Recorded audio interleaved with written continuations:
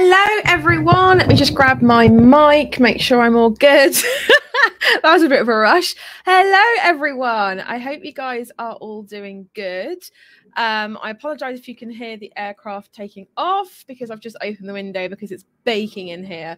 So I'm just going to like put my hand over my earbud so that Instagram people cannot hear this.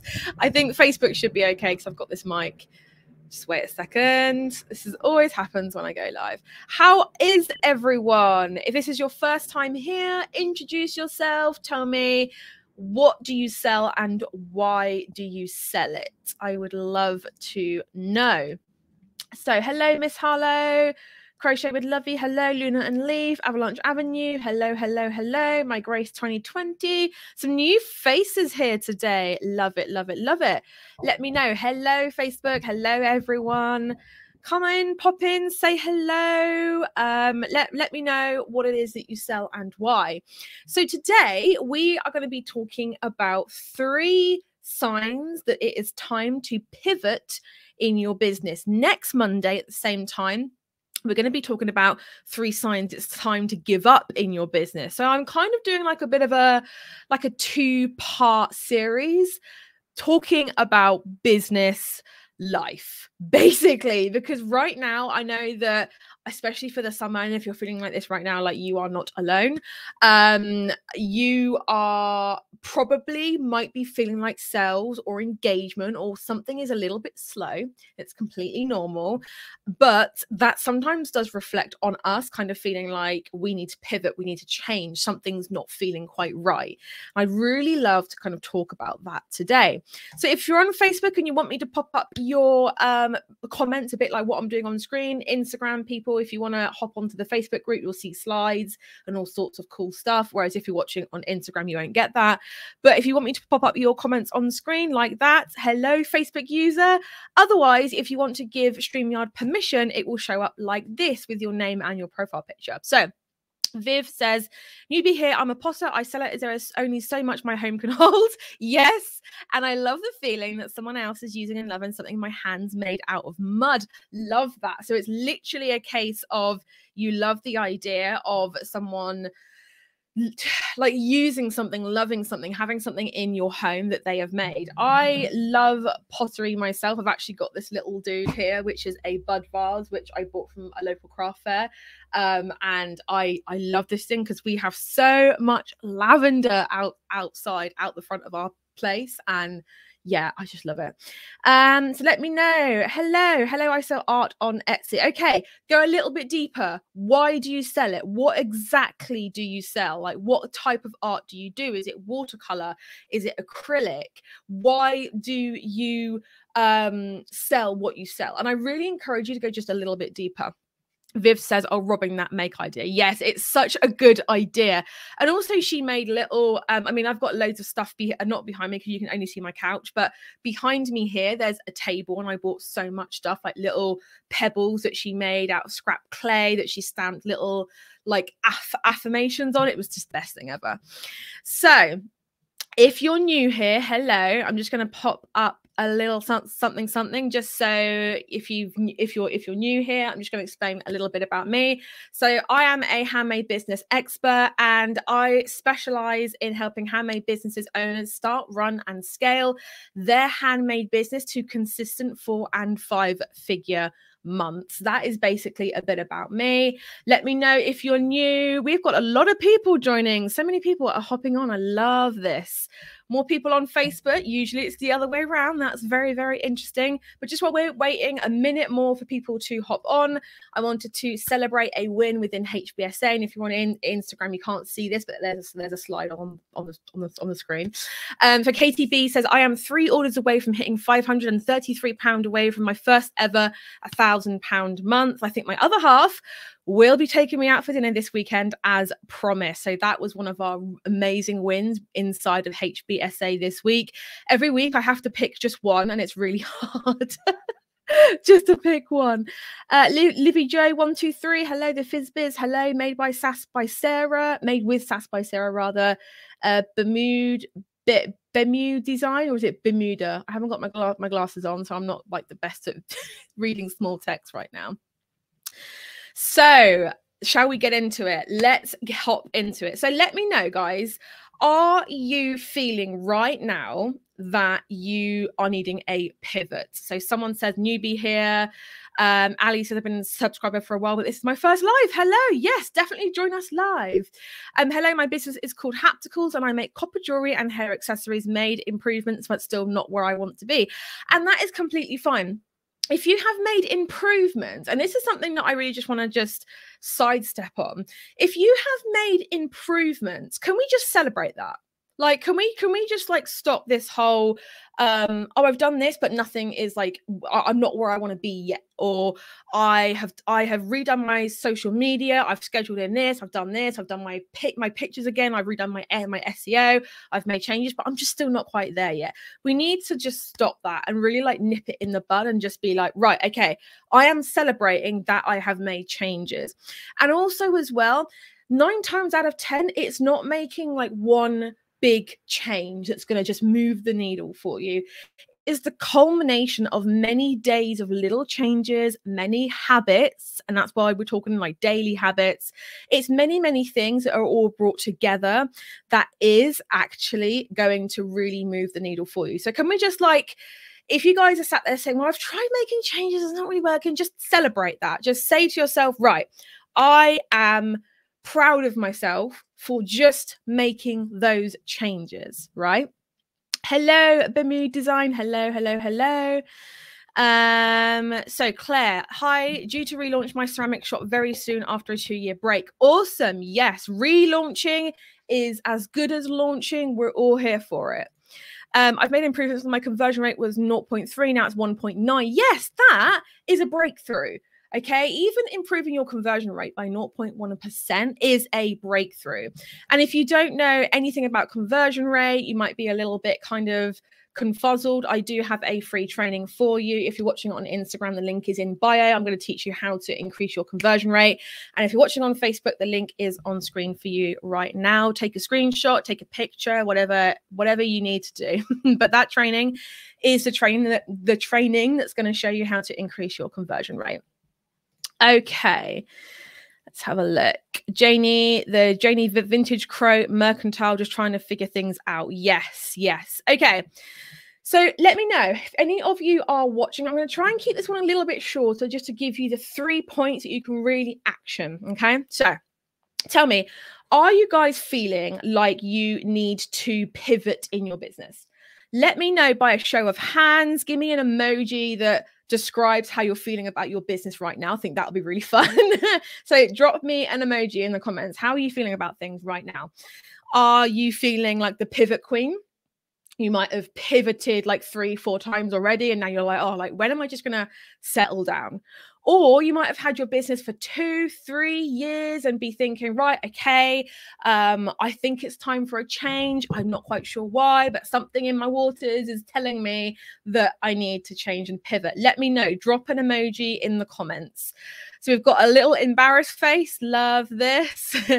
um, Viv also says, Tomorrow I'm restarting my Etsy shop as in person sales are down and I need to cast my net wider again. Yes. I used to do in person events a lot actually. And this is something that a lot of people don't really know. I don't really talk about it all that much because I am an online business expert. But I used to do in person like shows and um, like agri- agricultural shows were like my favorite thing to do. We've got a little party face, amazing. We've got a little hand up face for the emoji. Love it, love it. We've got a sad face. Okay, so I completely agree with you, Viv, is that online you can reach like quadruple the amount of people for less effort. And that's why I really fell in love with the online side of things. Um, a lot of my history is in brick and mortar, and I just fell in love with the fact of online businesses. You um you can be making a lot more money than a brick and mortar store if you know what you're doing, and that's really why I completely fell head over heels in love. So let me know: Are you feeling like you need to pivot? If so, here is three signs, three little things that perhaps you should be looking out for that is telling you, okay, now is time to change and pivot, right? So, the first one is you have woken up for more than three months and dreaded working. Okay, so if you get that kind of pit of your stomach feeling where you're thinking, I just don't want to get up and go to work tomorrow, or I just don't want to like log into my Etsy shop, or I don't really want to check the app, or oh, here's a message, I've got to respond to that now, or maybe you've like promised yourself. I'm going to do some more things. I'm going to make some more designs. I'm going to stock up my shop, but maybe you're just like, I just don't want to do it. and if you have done this for more than three months, and maybe it's time for a pivot, let me know in the comments. Has that been you? So that is the first sign. If you've woken up for more than three months, because and the reason I say three months is that sometimes you might have a bad day, you might have a bad week, and that's totally fine. That doesn't mean you need to pivot and change your entire business. Sometimes it can even last a month. When you're getting into like the three month realm, and you are kind of beginning to feel like you need to pivot, that is when things are starting to get a little bit, hmm, maybe there's something behind this. Let me know. Uh, Viv also says agricultural county shows. Yes, same here. Uh, and, and, and steampunk fairs have been my core sales, but bills need paying. Yes, yes, they do. Hello, Holly Rose Interiors. Hello, Bespoke by Pip. Hello, hello, hello. So, the first one woken up for more than three months with this kind of inner dread of doing anything in your business. Okay.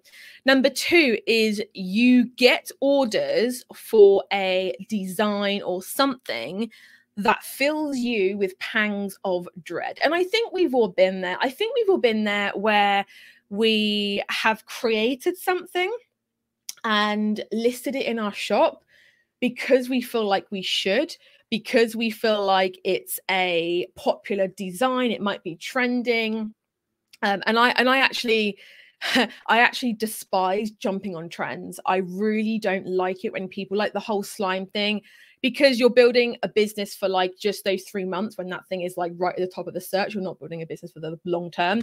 But I know that a lot of us have made things that perhaps now we get orders for and we're like, oh no happy for the money, I'm happy for the order, but just the thought of me making that thing just i just don't want to do it. And, and, i've been there like i've done that where i had things in my business where i just did not want to do.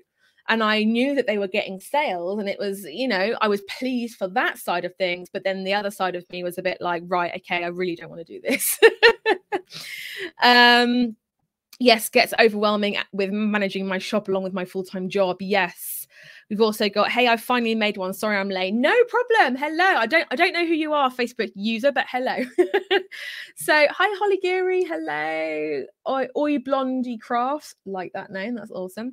So let me know. And if you're brave enough, tell me what that thing is. If you've got something in your shop that you get orders for, but you just think, I don't want to make that, or whatever else, you you maybe you don't like the process, maybe it's so long-winded, maybe it like it might hurt you, maybe like you're doing something with your hands and the repetitive movement it's just hurting your your your joints your fingers whatever. Um i used to make this certain type of jewelry that really used to like callus the tips of my fingers and i just they were getting orders but i just hated doing it. Let me tell you the minute i let those things go was so much better. So the third thing is and i know any any of my multi passionate entrepreneurial sisters out there who are dreaming up, constantly dreaming up other business ventures. Yeah, I'm talking to you. So if you keep dreaming up other business ventures, now I'm not talking about like, you know, the general ideas that pop into your head when you're out and about and you're thinking, yeah, maybe one day and you get out your phone and you write that little thing on your on your on your list and you're like, yeah, you know what? I'm talking about you've got this idea that's just floating. It's just floating. It's just floating. And you just can't get rid of it. It's like an annoying little fly. It just keeps coming back. But it may not fit in with the current shop and the products that you're offering, in which case it may be time for a pivot. It might be a sign that maybe you have outgrown your current business, and that is completely okay.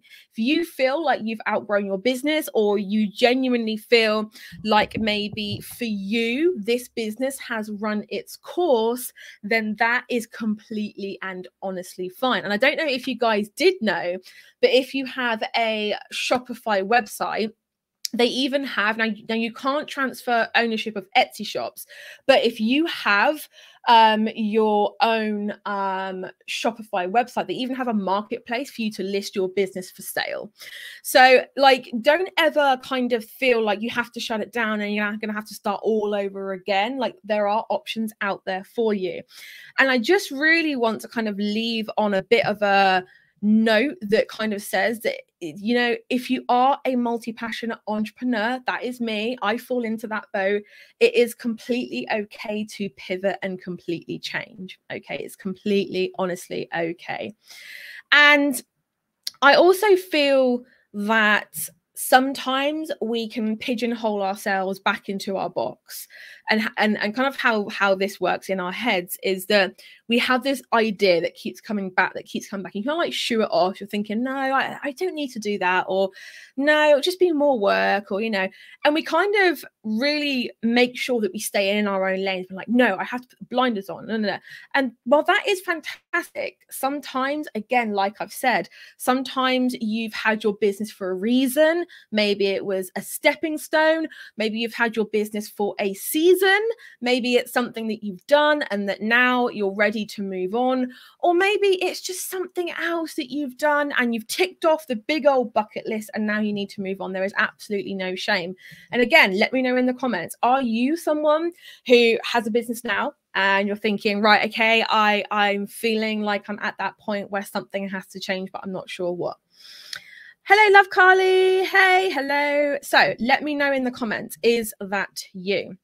That's why I stopped taking commissions. Yes.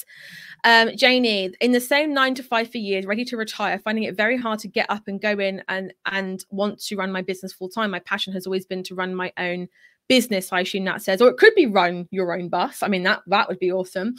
Um but yes i completely agree. Like we all have that nagging feeling.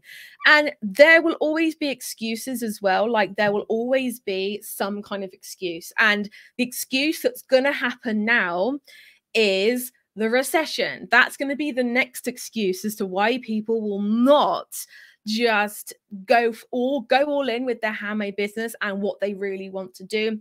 It will be the same as 2008 2009 2010 where people were like you know what? I can't i can't pursue my dreams because of the recession and we'll just stay in our little comfort zones. And i mean i'm not going to go on about that today because this video will be so long. But what i wanted to say to you guys is that if you're ready to dig deeper with this I would love a conversation with you. If you're watching on Instagram, DM me the word live at handmade bosses, which is obviously if you're watching on Instagram, then you're watching on the right profile. Tell me more about your business and your goals. Like, send me a voice note, send me a DM, tell me. I'd love to open up a bit of a conversation with you guys. I've not done this before, but I'd really love to kind of get more info from you guys. I want to talk to you guys about your business. I want to, I want to help. I want you to just like, even if it's like me not giving you tips and tricks, but it's just you being open and talking and writing well I'm say putting pen to paper, but it's literally typing on your phone. tell me about your business. DM me the word live so I know that you've come from this live and tell me more about your business and your goals. I would love to hear from you. So send me a DM, let me know, talk to me about your business, what your concerns are, but more importantly, I'd love to know what your goals are. So, guys, I really, really hope that you have enjoyed this live. We are going to be live again the same time next week, next Monday. Happy 4th of July for those who are celebrating it. And again, don't forget to send me that DM because I would love to hear from you. But for now, guys, I will catch you in the next live. Bye, everyone.